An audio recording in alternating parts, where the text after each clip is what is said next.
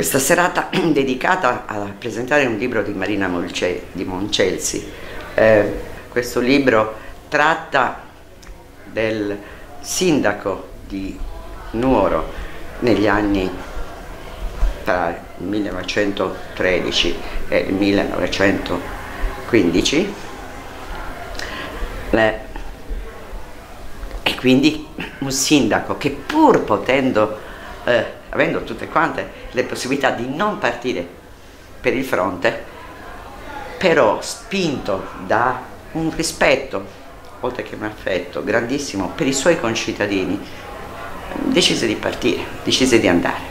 La storiografia a lungo eh, si è interessata dei generali delle battaglie dimenticando i protagonisti, che sono gli uomini che sono andati a combattere, voi per, voi per ideale, voi per il senso della patria, voi per il senso del dovere. E quindi in questa diciamo, pedagogia della memoria, perché noi dobbiamo ricordare, è importante conoscere il passato, questa fetta importante della storia, perché dopo la, la guerra mondiale ha cambiato completamente la società, eh, niente è stato più come prima eh, mi incuriosiva la figura di Michele Papandrea perché di lui non si sapeva niente. Allo stesso tempo eh, io sapevo che abitavo a poche decine di metri dalla casa Papandrea, una bellissima casa um, antica che, mm, che c'è a Nuoro, finché un giorno ho conosciuto eh, la, una pronipote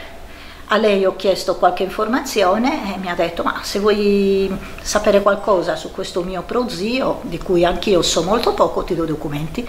E così mi ha dato la documentazione di famiglia e ho scoperto una figura veramente molto bella. Michele Papandrea era um, un, un nuorese come noi diciamo un po' scherzosamente, divertito, nel senso che era una persona molto ospitale, eh, che si divertiva con gli amici, era amico di Sebastiano Sata, di alcune persone della, ehm, di quella che allora era chiamata la Tenesarda e allo stesso tempo una figura che ha manifestato nella sua breve esistenza un comportamento di un di un senso civico eh, eccezionale. Era diventato sindaco di Nuoro dopo un periodo di commissariamento del paesotto. E quel periodo purtroppo, cioè quando lui è diventato sindaco di Nuoro, purtroppo oh, è scoppiata la, la prima guerra mondiale e, e lui da sindaco eh, credo che si sia trovato nella difficoltà eh, di non doversi sentire diverso perché lui era tutelato eh, dal fatto, una specie di immunità tra virgolette perché era esentato dal, um, dalla coscrizione. Ha accettato eh, la, la richiesta della patria